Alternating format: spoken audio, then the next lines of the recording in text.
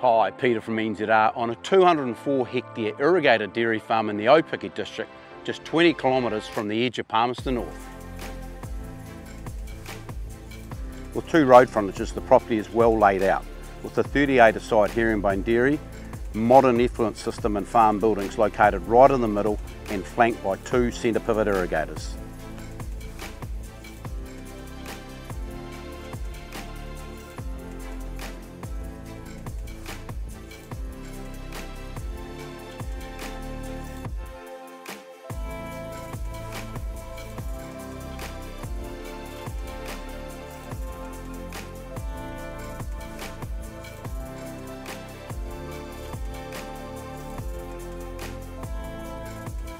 Operated as a spring calving 650 cow operation, the three year production average here has been 260 kilos of milk solids.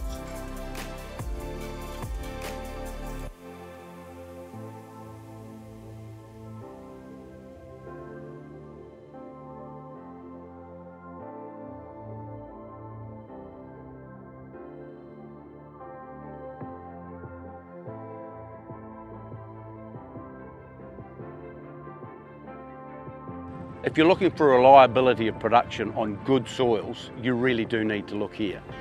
Peter from NZR.